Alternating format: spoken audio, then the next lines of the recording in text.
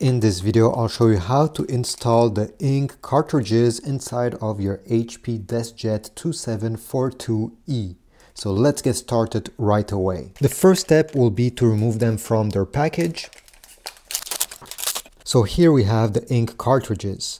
One of them has a magenta top. This one is the three color ones that contain the blue, the magenta and the yellow colors and the other one has a black top. This one only contains the black ink.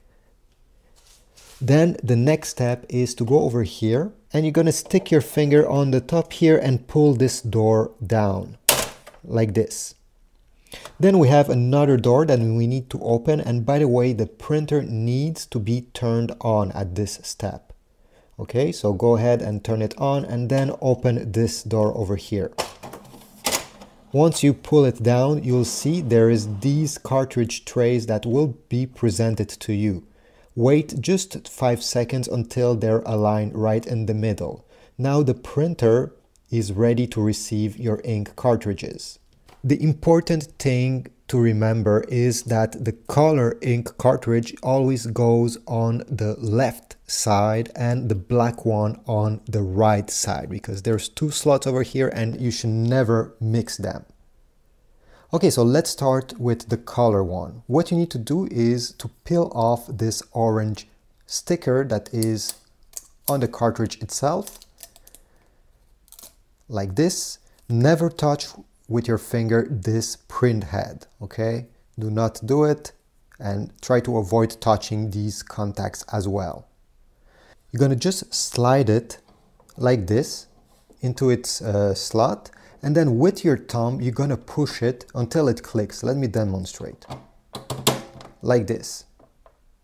I'll do the same for the black ink cartridge, so I'll peel the sticker first.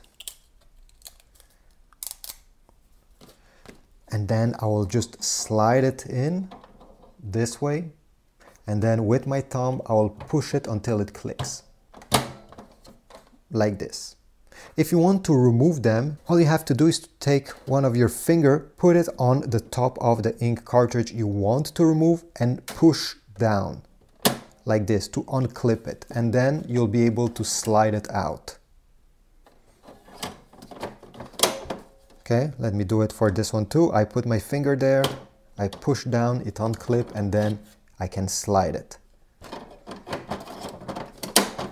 Once the ink cartridges are in place, all you have to do is to close this door.